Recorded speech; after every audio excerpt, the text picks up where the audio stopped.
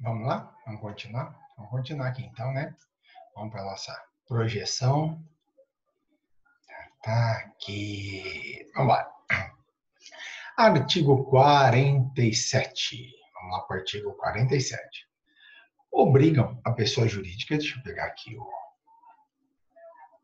marca-texto, obrigam a pessoa jurídica os atos dos administradores. Então, ó, as pessoas jurídicas são obrigadas por todos os atos dos seus administradores. Aqui, todos, todos, exercidos nos limites de seus poderes definidos no ato constitutivo. Então vamos lá, vem cá comigo que nós vamos entender isso aí. Todos os atos, todos, sem exceção, que a empresa jurídica fizer são reputados aos donos. Ponto final. Tá? Aliás, desculpa, desculpa, desculpa. Todos os atos que os donos fizerem enquanto na empresa jurídica são reputados à, empre... à pessoa jurídica. Beleza? Todos. Todos os atos. Todos os que eles fizerem enquanto pessoa jurídica valem para pessoa jurídica desde que exercidos nos, nos limites de seus poderes definidos no ato constitutivo. Vamos pensar o seguinte: eu sou professor de vocês da matéria de pessoas, empresas e tributo. Tá aqui eu, professor, dando aula. Ok? Ok. Todos os atos que acontecem aqui dentro, provas, participação na aula, é, interação, tirar dúvida, todas essas coisas são de minha responsabilidade avaliar e vocês serão avaliados no global pela matéria. E vai ser a nota da matéria.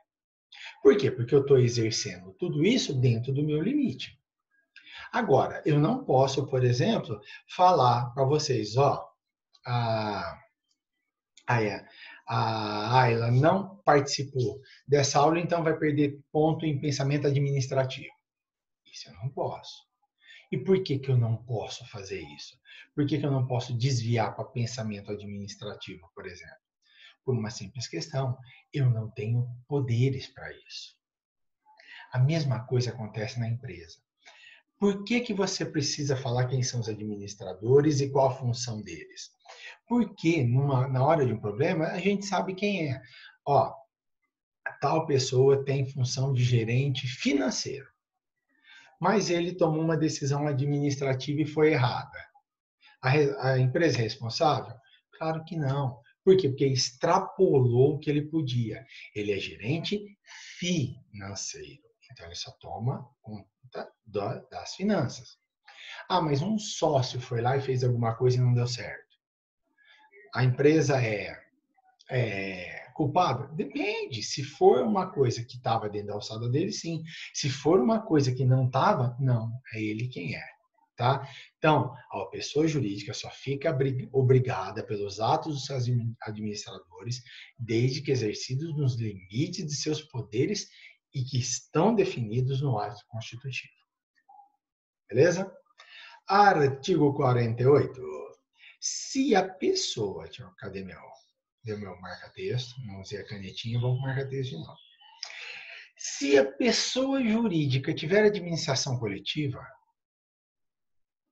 extremamente comum, associação, é, fundação, aí algumas empresas que podem ter administração coletiva, as decisões se tomarão pela maioria dos votos. Detalhe, gente, dos presentes.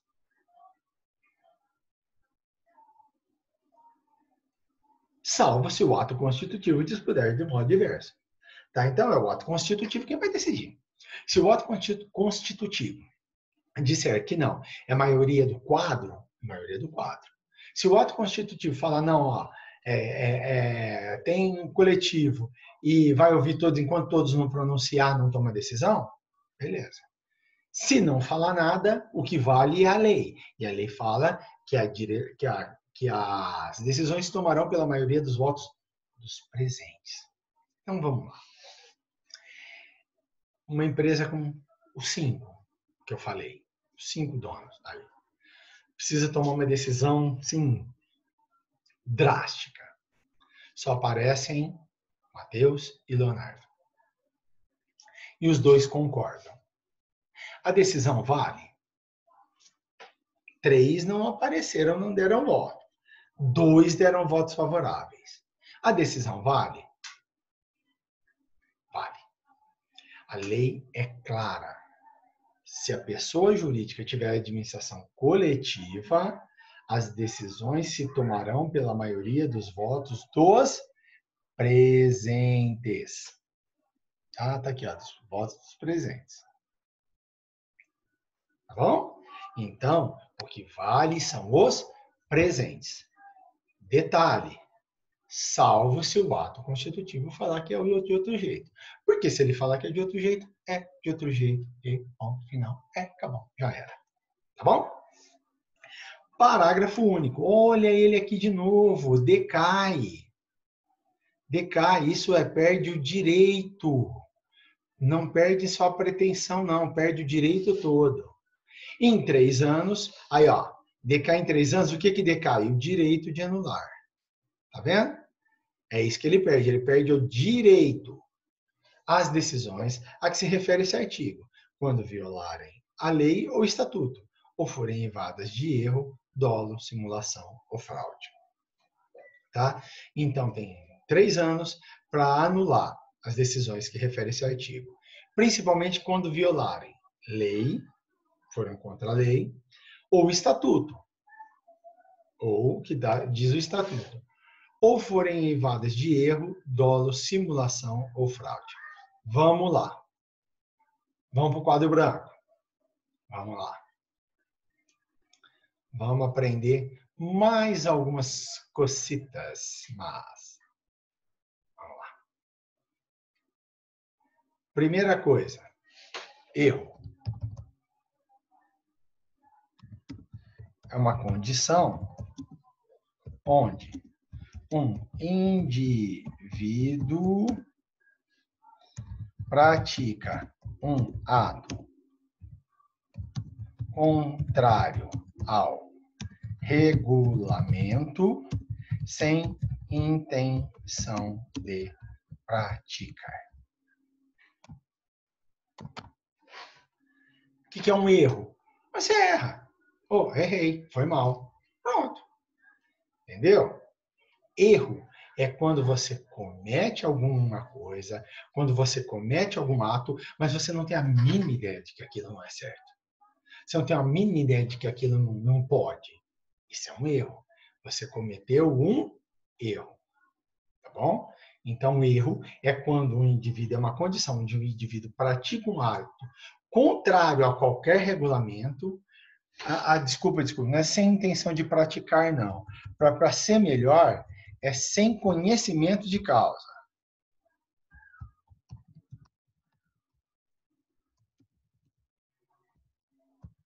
E agora aqui sim, ou intenção de praticar o ato. Por exemplo, um, um erro que a gente, nós, cometemos muito, né? esse tipo de, de erro. E é um erro. É, é erro de português. Você tem intenção de, de cometer um erro de português? Não. Muitas vezes você comete o erro porque você não sabe o certo.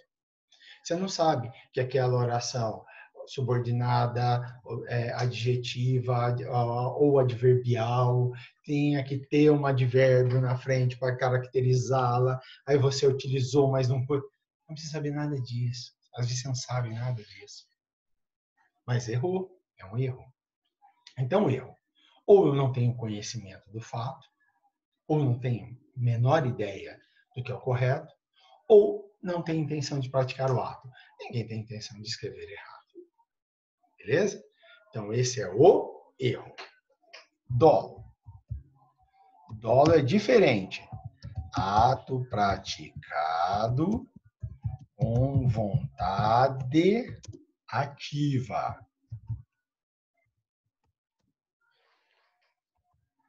É um ato praticado, mas com uma vontade ativa. Eu tenho, eu quero produzir o ato.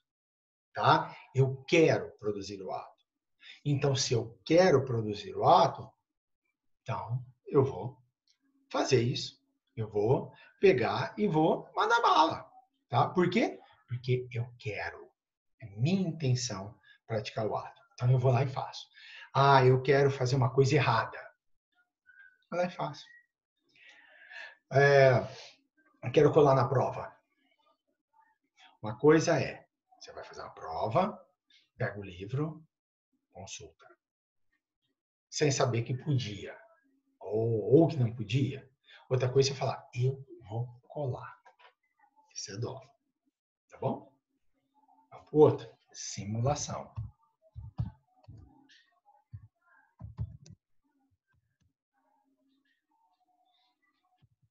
Efeito jurídico que indica que um negócio foi feito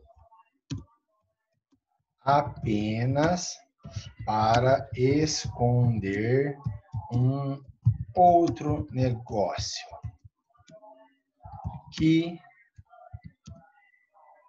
é o vale. Era complicado? Fácil. Facinho. É, a gente faz negócio, nós vamos comprar uma casa. Vamos comprar uma casa. Beleza? Beleza. Eu vou comprar, vocês vão vender. Só que eu não quero que apareça meu nome. Eu quero que apareça o nome de outro. Aí a gente simula um negócio com outro. É o famoso laranja. Entendeu? Isso é a simulação. Ou então, um caso corriqueiro. Nós vamos, eu vou comprar sua casa. Só que você não pode receber esse dinheiro todo. Por quê? Porque você está com o nome sujo, se você receber esse dinheiro todo, vai te dar problema, papapá.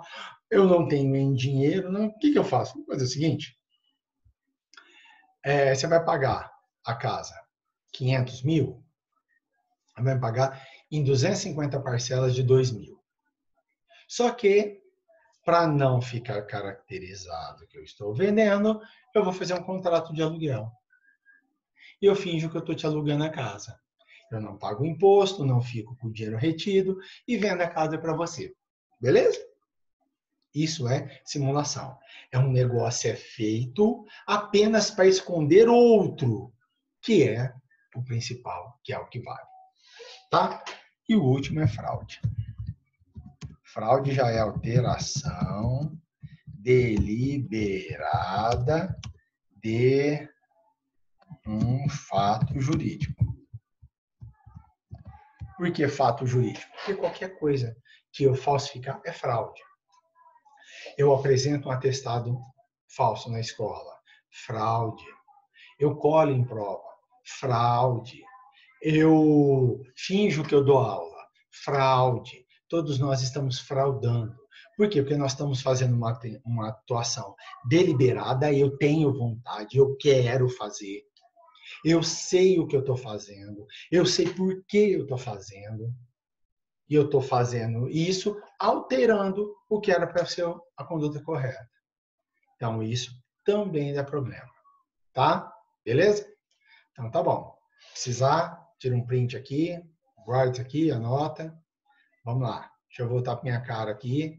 Vou voltar para a apresentação. Por quê? Porque a lei é clara que decai em três anos o direito de anular essas decisões, mesmo quando violarem a lei, mesmo quando forem eivadas de erro, dolo, simulação ou fraude. Professor do céu, para com isso. Para, para, para, para, para, para, para, para. Pera aí. Você está querendo falar que o povo fez uma coisa contra a lei. Você está querendo falar que o povo simulou, que o povo fraudou com dolo e depois de três anos eu perco o direito? Claro! Sabe por quê? Porque você passou três anos e você não tomou providência. Passou três anos e você não foi atrás. Queridão, pensa o seguinte. Quem que mandou? Maria Eduarda Borba. Eu esqueci de lançar a nota dela. Esqueci né? Na hora de lançar as notas lá, alguns não fizeram algumas atividades, alguns não fizeram prova, alguns não fizeram nada, desistiram. E eu fui lançar as notas e não sei por que cargas d'água, meu diário está com, com um problema nos nomes, eu fui lançando, olhando a nota e alt, alt, tab, tab, e fui mandando bala e não lancei a nota dela. Ela olhou, achou estranho e me mandou uma mensagem. O que, que ela fez? Ela me provocou. Ela chegou e falou, professor, eu acho que está errado. Eu fui conferir, ou oh, me desculpa, estava errado. Me desculpa. Fui lá e consertei. Entendeu? Simples assim. Fácil assim. Tranquilo assim. Beleza? Beleza. E se ela não reclama? Eu não ia corrigir. Aí, ano que vem, em julho, ela. Nossa, gente do céu, acabei de lembrar que o ano passado eu não fiz o negócio. Tem que falar, manda uma mensagem para mim. Professor do céu, professor, me dá uma luz. É o quê? Ano passado, o senhor fez tem como mudar minha nota? Eu vou virar para ela e falar. Não dá. Por quê? Porque o seu direito decaiu quando a gente fechou as notas. Quando a gente fechou as notas do ano passado, fechou os diários do ano passado e concluiu o ano, seu direito decaiu.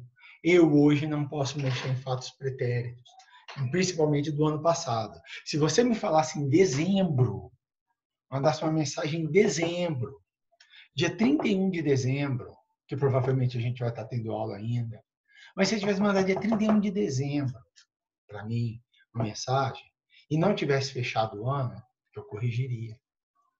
Mas eu mandei, professor, 10 de janeiro. Fechou o ano? Vamos imaginar que não fechou? Consertaria. Agora, a partir do momento em que cancelou, fechou o ano para frente, você caiu na decadência. Aí você não tem mais o direito à, à reclamação. Entendeu? Então, mesmo, e foi um erro meu. Ah, mas e se eu tivesse feito com dolo? Não, eu vou reprovar a Maria Eduarda Barba. Eu vou, eu quero. Vou deixá-la sem nota. E se reclamou e reprovou? Ia continuar do mesmo jeito. Você não reclamou, reprovou, perdeu o direito. Entendeu? Por isso que a gente tem que ser tempestivo nos nossos, eh, nas nossas defesas de direito. A tempestividade é muito interessante. A justiça não, projeta, não protege aqueles que dormem. Então, você tem que ser tempestivo, você tem que assumir a função ativa de pessoa para resolver os negócios. Porque tudo na lei vai ter problema com decadência. Beleza? Vamos lá então. Vamos continuar então. Ah. Artigo 49. Se a administração da pessoa jurídica vier a faltar, cá, professor, como assim? Vai, junta os três sócios, vão fazer uma reunião de negócios em São Paulo, carro capota e pacota os três. Quem que é o administrador? Nesse caso, se a administração faltar, o juiz, a requerimento de qualquer interessado, não tem, ah, só esse, esse ou aquele, não. Qualquer um, nomear-lhe-á administrador provisório. Não é principal, não é definitivo, não é de falência, não é de liquidação, é provisório. Tudo bem? Tudo bem? Tudo certinho? Então tá bom. Então, ó, tá muito claro. Se faltar administração e alguém pedir, falar, oh, tá faltando de problema, e agora o que a gente faz? Simples, muito fácil, muito tranquilo. Juiz nomeia um ali. Tá bom? 49A e que foi o que eu bati com vocês. E ó, a gente já vê que 49A, então ele foi colocado depois, não tinha espaço para ele, mas ele foi colocado depois, depois. Ele é um artigo que já tinha na lei 4.604 de 76, que é a lei da contabilidade que vocês vão ver o ano que vem, provavelmente com o professor Elton, que vai estar de volta do doutorado. Né? É, aí, vocês vão ver que a lei 4, é, é 64, 6404, 640476, o que, que ela diz? Ela diz exatamente isso, que a pessoa jurídica não se confunde com sócios. PJ é PJ, sócio é sócio. PJ é uma coisa, sócio é outra. Tá? Por quê? Porque sim, os patrimônios são separados. É tudo separado. Ah, então isso vale para tudo? Não. Não vale para tudo. Mais para frente a gente vê os casos que isso não vale. Tá? Mas por enquanto, isso é totalmente válido. E se eu não for registrado? Cara, se você não for registrado, isso aqui não serve para você, você está fora da lei, lembra? Então aí você é confundido com o patrimônio da sua empresa. Parágrafo único. Autonomia patrimonial das PJs é instrumento lícito de alocação e segregação de riscos, estabelecido pela lei com a finalidade de estimular empreendimentos para geração de empregos, tributo, renda, inovação em benefício de todos.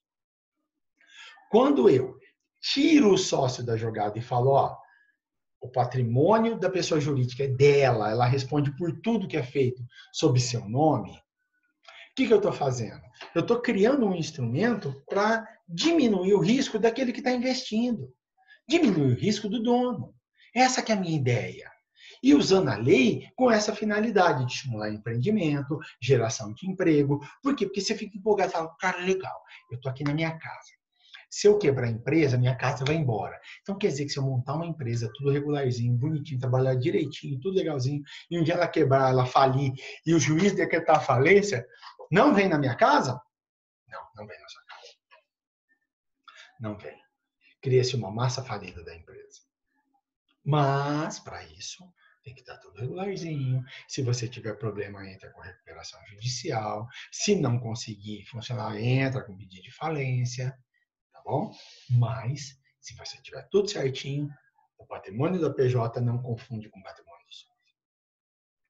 E isso é um instrumento, é uma política pública. É a lei usada como política pública para ajudar no aumento de emprego e renda. Vamos lá, vocês me verem de novo. Então, entenderam? Para que, que é isso? Para defender o direito das pessoas. Por quê? Porque muitas vezes é mais fácil você colocar patrimônio seu na empresa do que tirar patrimônio da empresa. Por mais que a empresa seja grande, por mais que seja, a empresa seja mais lucrativa do mundo, pega aí um Facebook, um Google, Amazon, arrecada um dinheiro lascado.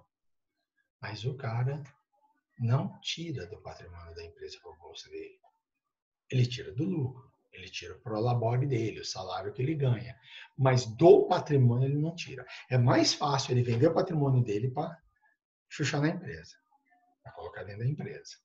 Mas ele tirar patrimônio dele, do bolso dele, ou desculpa, tirar patrimônio da empresa para o bolso dele, é muito difícil, muito difícil. E é esse que é o segredo das grandes empresas. É entender que a empresa por si só é uma outra entidade e que eu tenho que trabalhar com essa outra entidade do mesmo jeito que eu trabalho comigo. Tá joinha? Valeu, galera. Daqui a pouco a gente volta. Tchau.